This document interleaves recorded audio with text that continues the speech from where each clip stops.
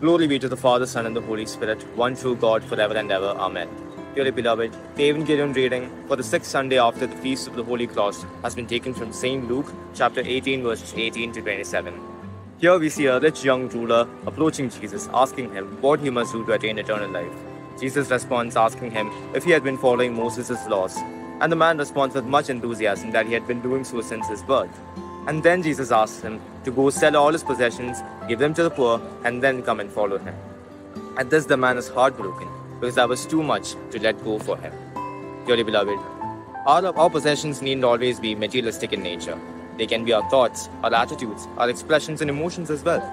Let us ask ourselves is there anything in our lives that is too much to let go for Christ's sake and for His love?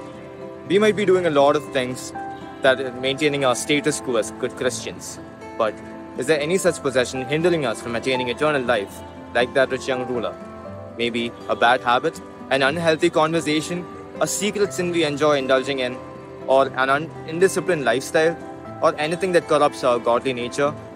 May the Holy Spirit help us to let go of everything that hinders us from following God and His ways, and may He lead us in our journey to eternal life. May God bless us all.